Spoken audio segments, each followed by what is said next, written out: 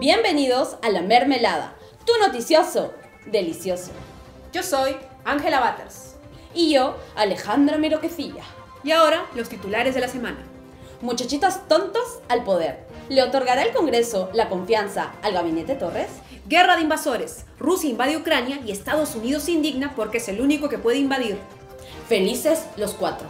Vuelve el guaco erótico, acompañado, para reactivar la economía. ¿Cuánta falta nos hace Thatcher?